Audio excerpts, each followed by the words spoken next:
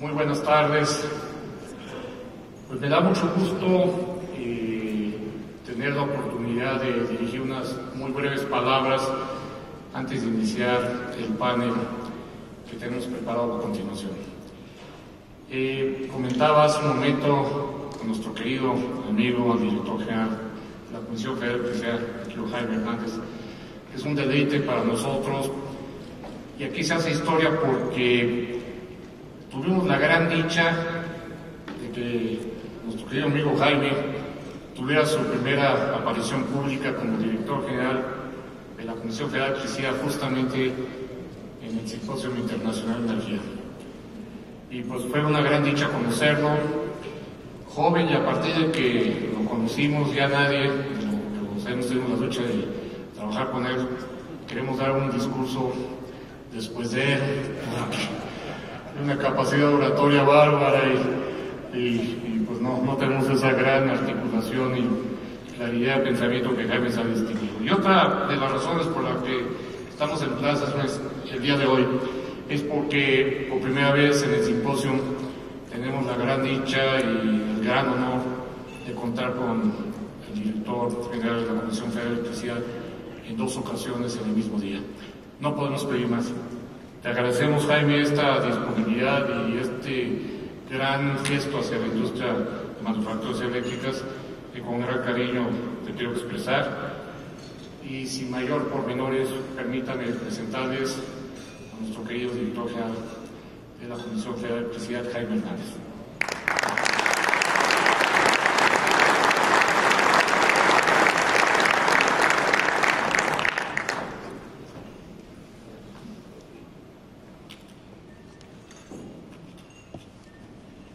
Señoras y señores, muy tardes. Es un gusto estar aquí nuevamente en esta misma jornada. Quiero agradecer en primerísimo lugar a Pablo Moreno la invitación, las muy generosas palabras introductorias en esta tarde, pero sobre todo su cercanía, su orientación, su apoyo a la Comisión Federal de Electricidad a lo largo de los años que han podido forjar una relación institucional fuerte, vigorosa y que nos da un enorme aliento hacia adelante.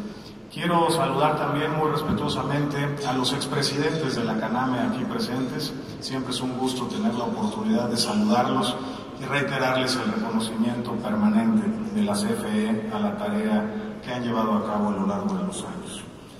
Si me lo permiten, quisiera eh, recorrer en algunas láminas cuáles son los principales elementos de la transformación de la Comisión Federal de Electricidad en los que hemos venido trabajando en estos últimos seis años para poder así entender cuáles son los retos, las oportunidades que los años por venir, a mi juicio, le deparan a la CFE y al sector eléctrico de México.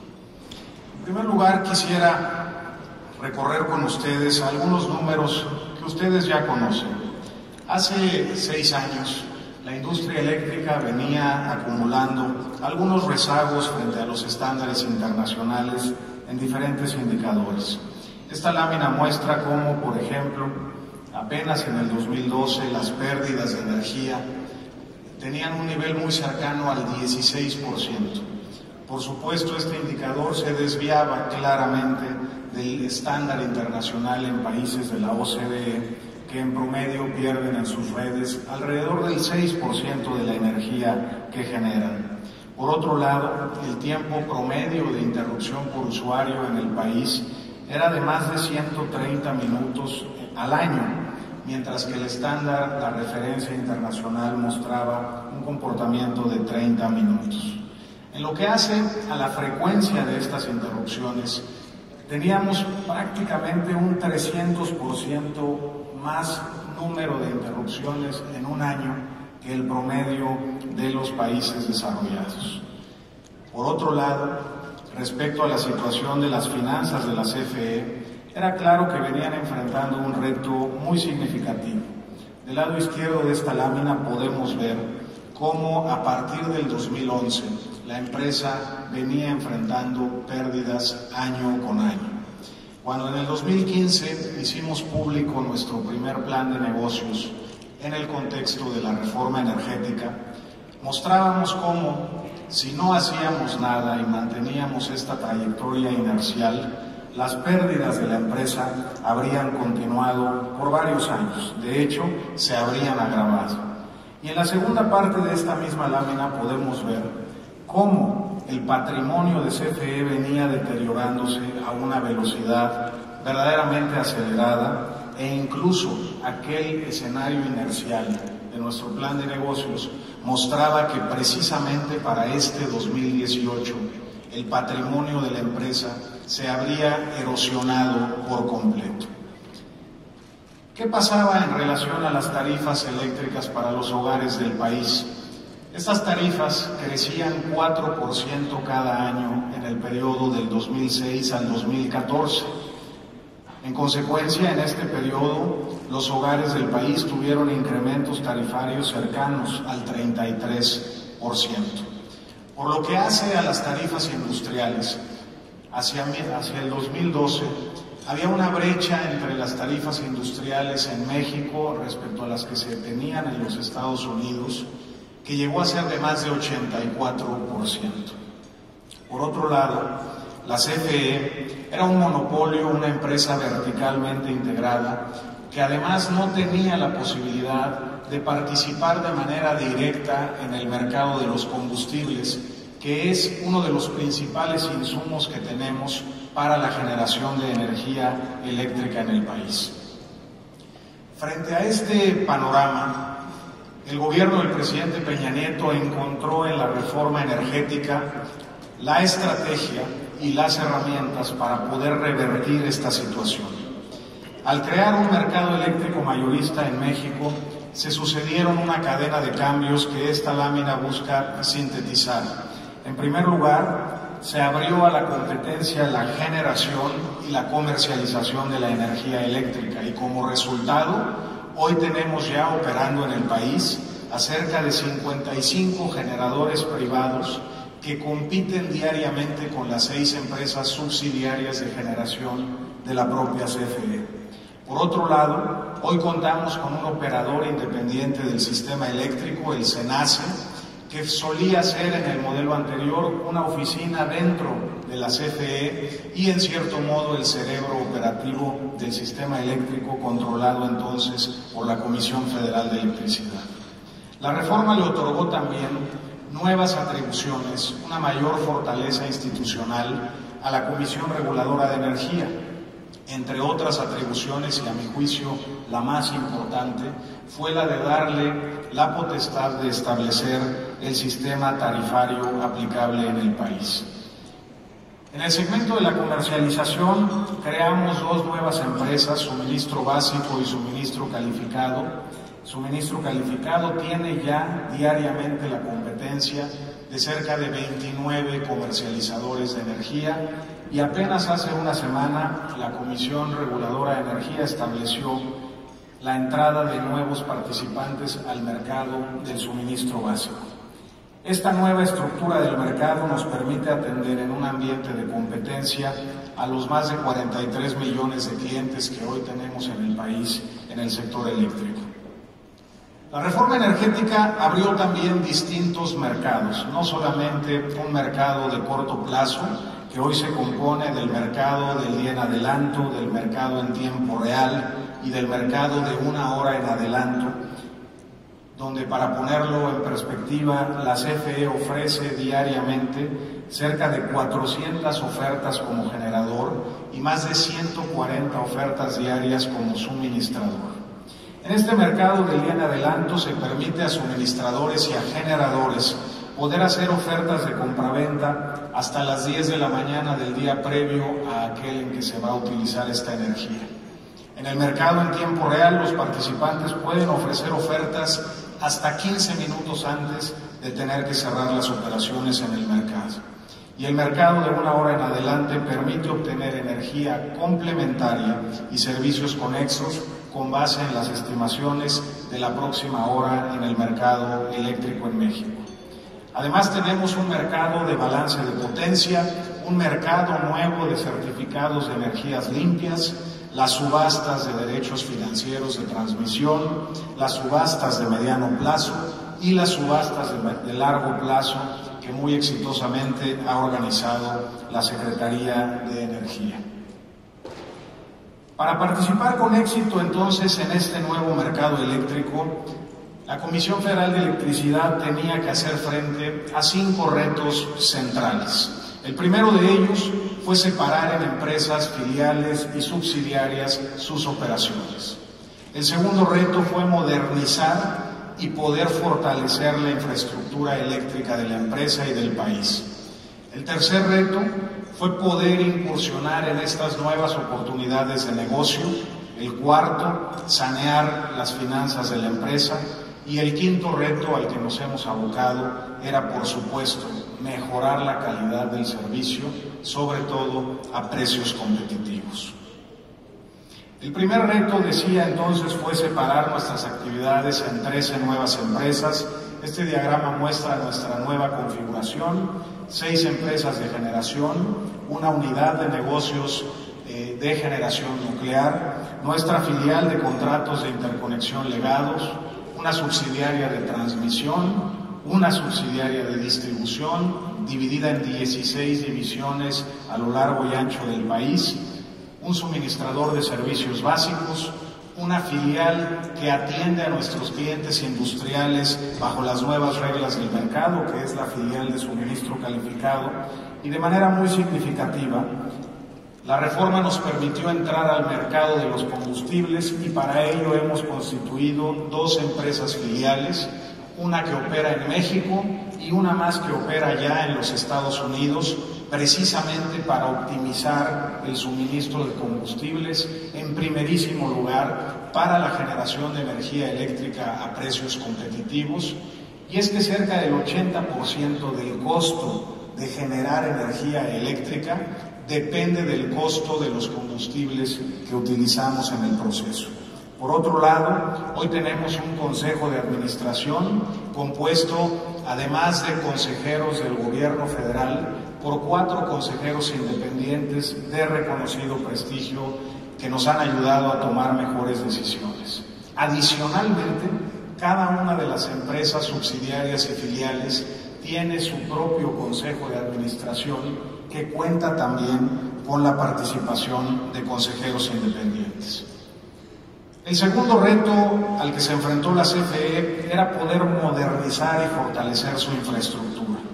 Con este objetivo se impulsó un programa ambicioso de infraestructura eléctrica por más de 33 mil millones de dólares, que incluye, entre otros proyectos, 25 gasoductos, 31 conversiones de centrales y nuevas centrales, 65 nuevas centrales de generación limpia, cerca de 500 proyectos de transmisión y cerca de 13.500 proyectos de distribución.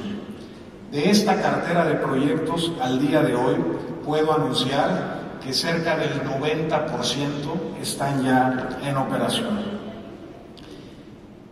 Adicionalmente, como parte de este fortalecimiento de nuestro programa de infraestructura, a la fecha se han realizado ya tres subastas de largo plazo organizadas estas tres primeras por la Secretaría de Energía, la cuarta está ya en proceso, ahora corresponde su organización a la Comisión Reguladora de Energía y estará dando hacia el último trimestre de este año su fallo. Pero permítanme recordar con ustedes por un momento cuáles fueron los resultados de estas primeras tres subastas. En la primera de ellas obtuvimos los precios más competitivos de la energía en el mundo, con un precio promedio de energía y certificados de energías limpias de 48 dólares, que representó un ahorro de 38%. En aquel momento, ustedes lo recordarán, había ciertas inquietudes en la industria respecto de este nivel de precios. Y poco tiempo después de nuestra subasta en México, hubo subastas similares en otros países que estuvieron muy cerca de este nivel de precios obtenido en México. Vino la segunda subasta poco tiempo después y los precios fueron todavía mejores, de 33 dólares, y vino la tercera subasta y los precios alcanzaron un nivel récord de 21 dólares. El mapa muestra cuáles son los estados de la República donde se alojarán estos nuevos proyectos, 47 parques fotovoltaicos y 18 parques eólicos.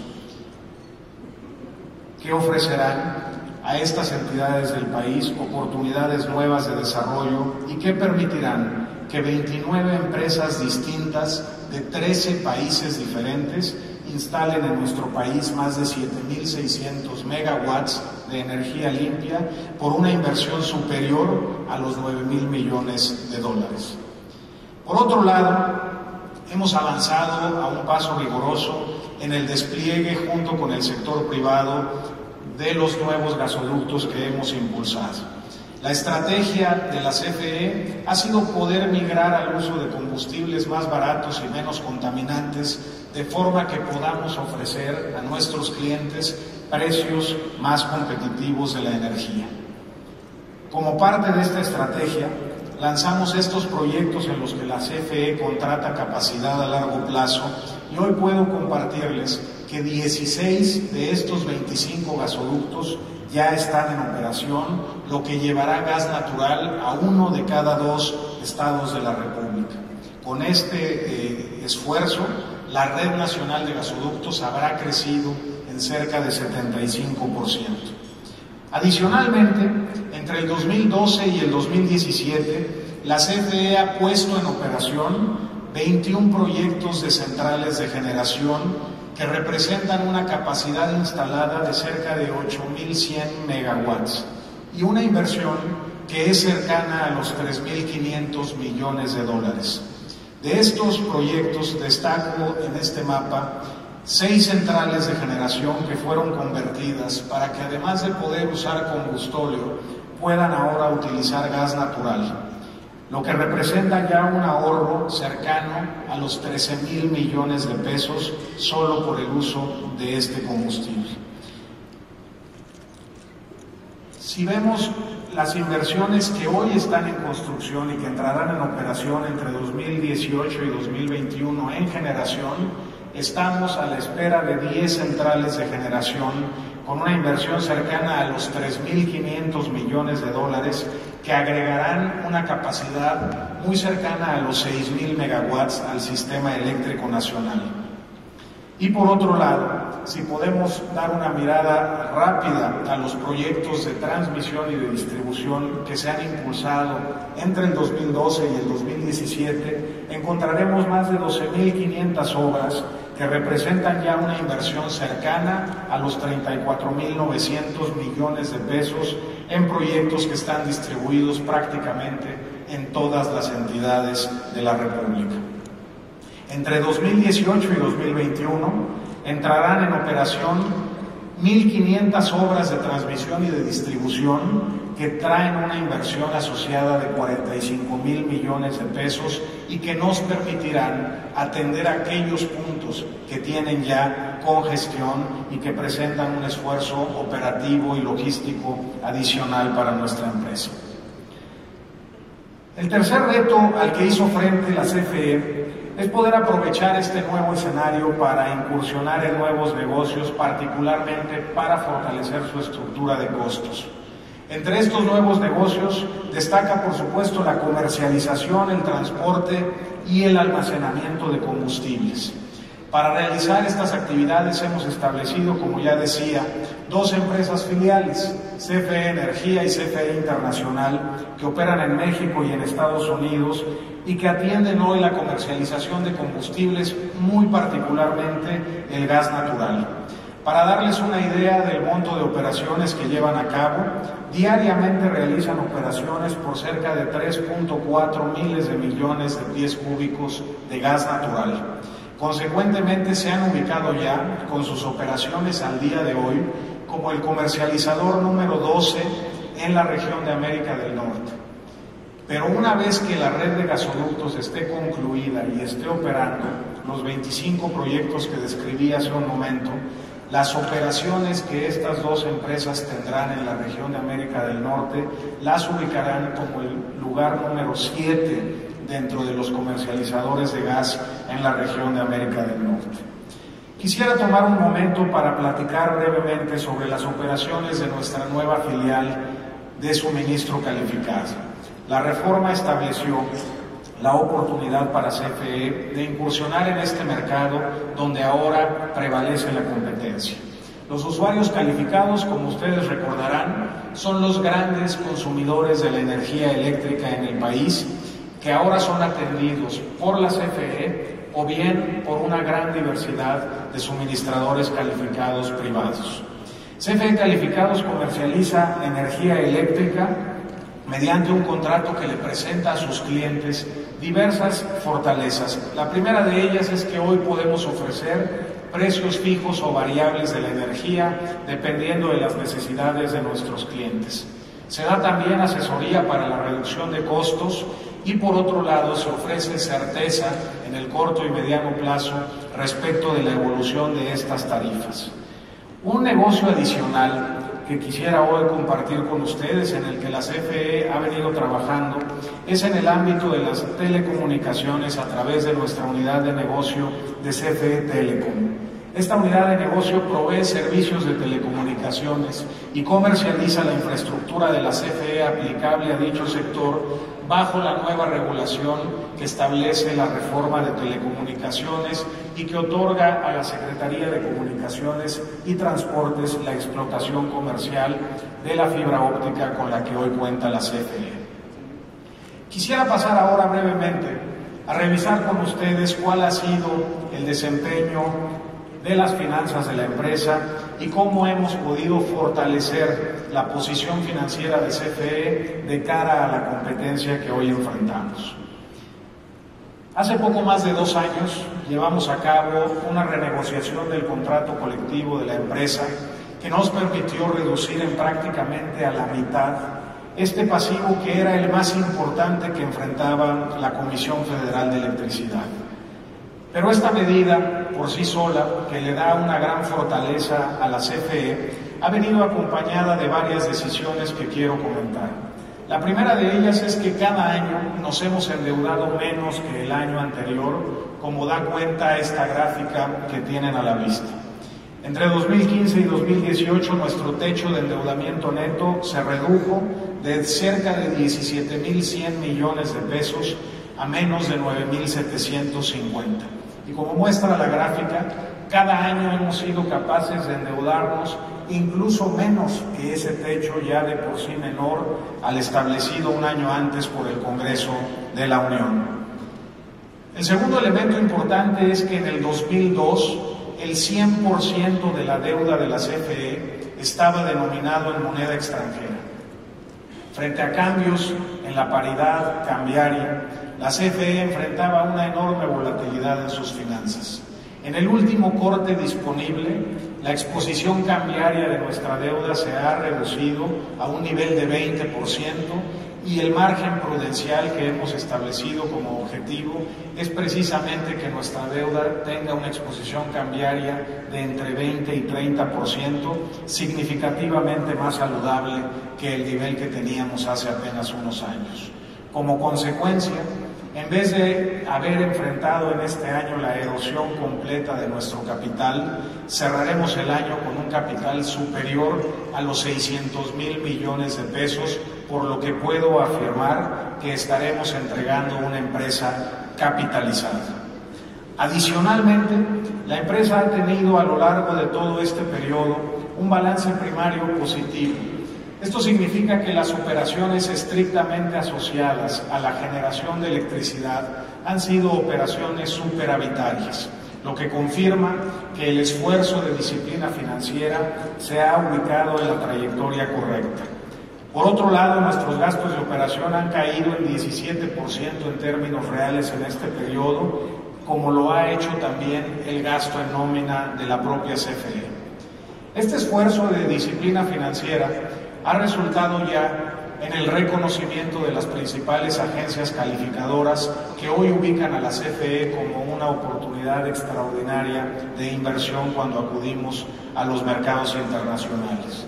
Y como pueden ver en esta gráfica, 2016 y 2017 marcaron no solamente el regreso de la empresa a los números negros, sino sobre todo, y de manera más relevante, se trata de las dos utilidades más altas en la historia de la Comisión Federal de Electricidad.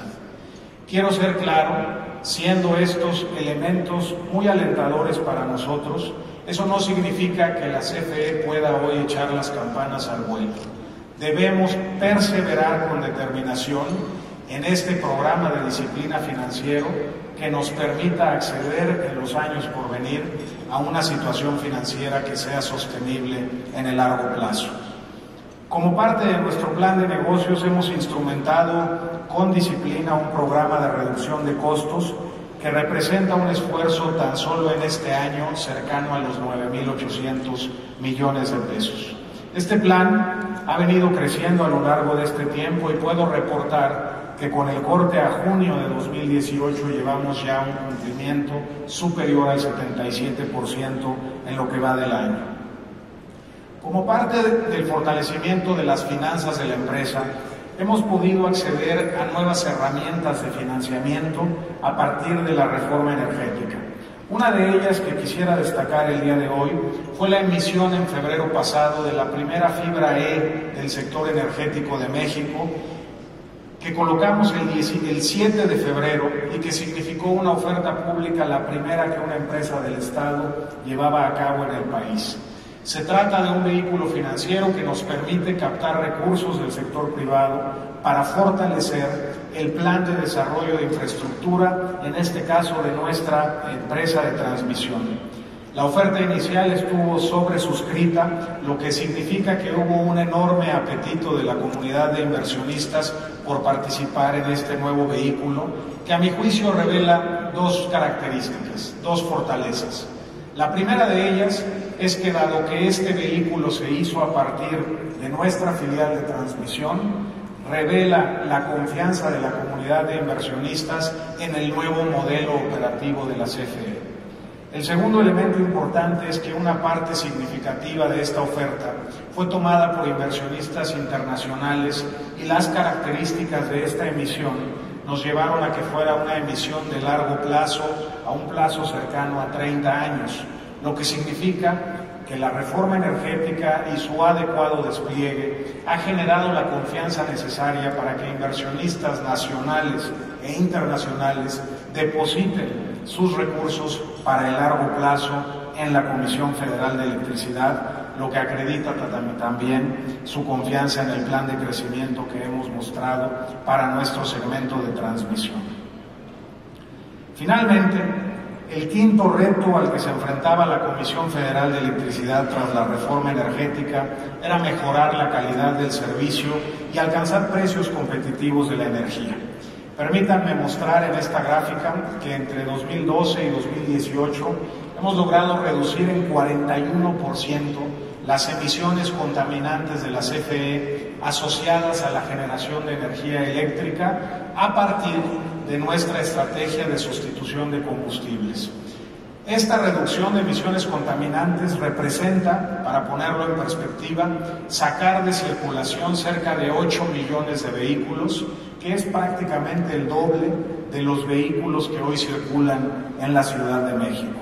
Además, quiero compartirles que al día de hoy 91 centrales de generación de electricidad cuentan ya con los certificados de industria limpia que emite la Secretaría de Medio Ambiente y hemos marcado el objetivo, y lo alcanzaremos, de que al final de este año el 100% de las centrales de generación de la CFE cuente con la acreditación de industria limpia. Quisiera revisar ahora con ustedes cómo hemos avanzado en la disminución de las pérdidas de energía. Como pueden ver en la gráfica, al tomar el control de la zona operativa centro en el país, las pérdidas crecieron a un nivel del 16% y han disminuido en cerca de 30% de entonces a la fecha.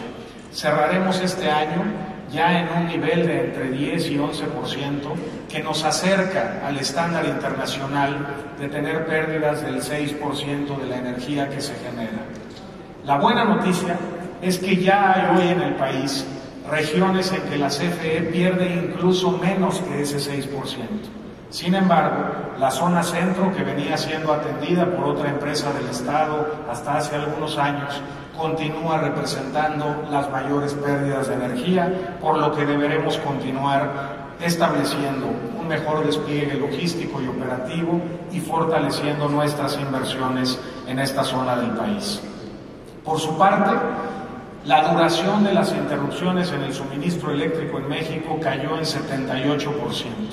La frecuencia de estas interrupciones se redujo en 71% y como resultado, las quejas que nuestros clientes interponen frente a la Profeco han caído a razón de un promedio de 30% cada año. Por supuesto, todavía tenemos un gran trabajo por hacer hacia adelante. Quisiera destacar otro elemento verdaderamente significativo para nosotros que ha representado un riesgo y al mismo tiempo una oportunidad. Al tener que establecer una nueva regulación para las contrataciones en la empresa, para ajustarlo al nuevo marco institucional que ahora nos rige, llevamos adelante varios cambios con acompañamiento de organismos internacionales que nos permitieron identificar mejores prácticas y como resultado de ello han disminuido de un nivel cercano al 80% a un nivel de solo 12% las adjudicaciones directas en la empresa. Por supuesto, hacia adelante el reto es mantener un bajo nivel de adjudicaciones directas y promover una mayor participación de la industria en nuestros procesos competitivos. Una herramienta fundamental para alcanzar este objetivo fue haber reducido de un nivel de cerca de 380 centros autorizados para llevar a cabo compras o contrataciones a lo largo de todo el país en la CFE a un nivel de solamente 140 en el 2017. Este esfuerzo nos ha permitido tener un mejor control interno, mejorar la transparencia y al mismo tiempo promover la participación de la industria en nuestros procesos. Permítanme ahora comentar qué ha pasado con las tarifas eléctricas para los hogares en el país.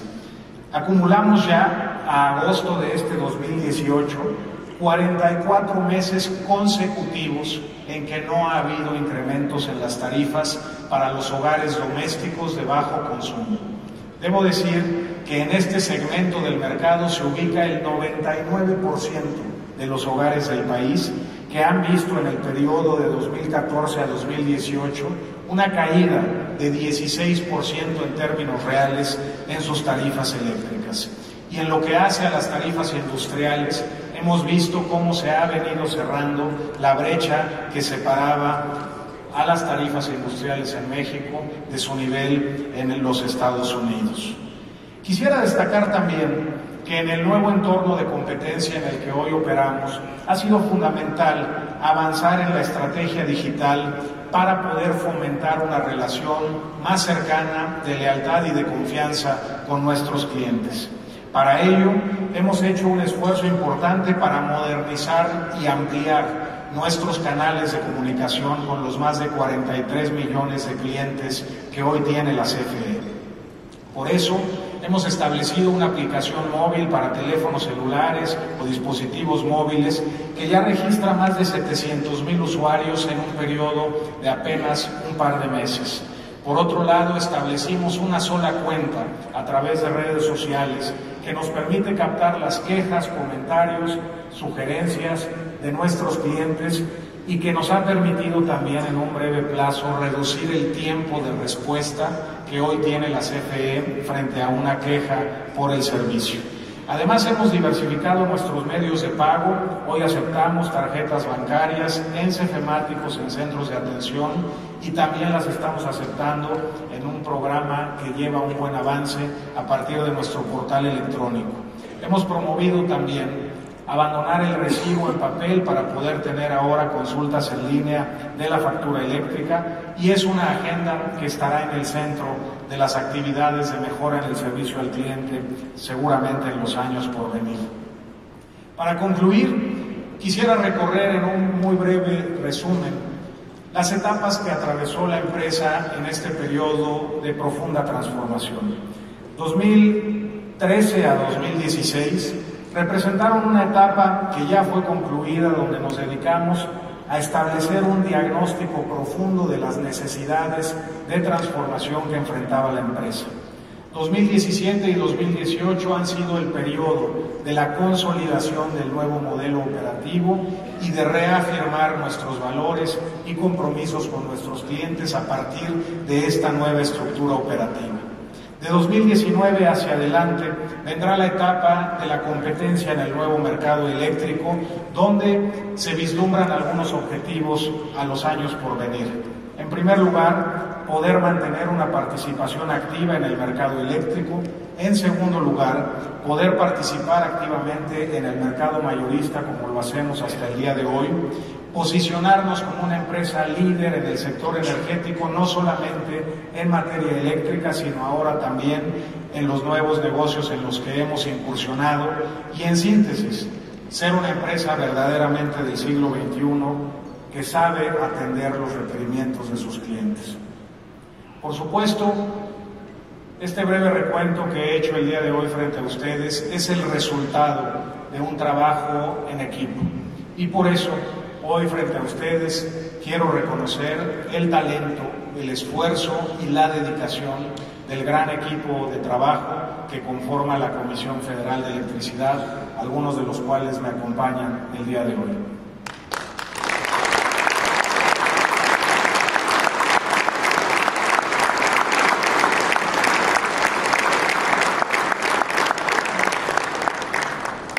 Tengo absoluta certeza que hacia adelante la Comisión Federal de Electricidad sabrá enfrentar los retos del nuevo mercado eléctrico y estoy seguro que con mujeres y hombres de extraordinario talento de la propia CFE, pero también de la industria, sabremos llevar a los mexicanos el servicio de energía eléctrica que exigen y merecen.